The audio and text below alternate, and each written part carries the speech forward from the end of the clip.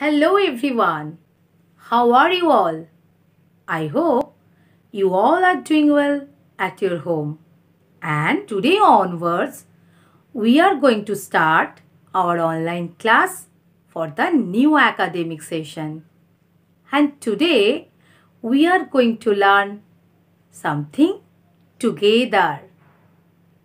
There are so many things all around us. But do they all look the same? No. So, today we are going to learn about various objects and their differences.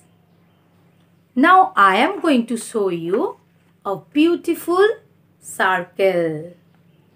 But I also have another circle. Both the circles are red in color. So, can you tell me what is the spelling of red? Yes, ra, e, da, red. Isn't it? But there is a big difference. Can you tell me what? Yes, it is a big circle and it is a small circle. So big and small. Teddy bear, teddy bear, turn around. Teddy bear, teddy bear, touch the ground. So, I have a big teddy bear. But I also have a small teddy bear. So, big and small. Big and small. I have a small jar. Would you like to see a big jar? Yes. So, big and small. My dear students, can you make a big with your hands? I am making a big with my hands. Big. Big. And small. You also try with me. Big and small. Now, I am going to show you another thing. I have a long pencil. But I also have a short pencil. So long and short. Long and short. I have a long glass but I also have a short glass. Just see long and short. Can you make long with your hands?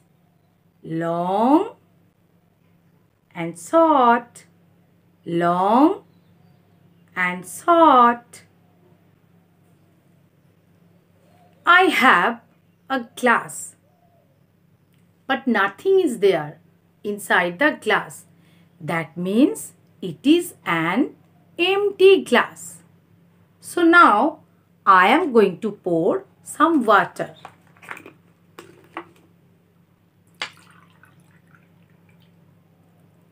Now I have a full glass of water.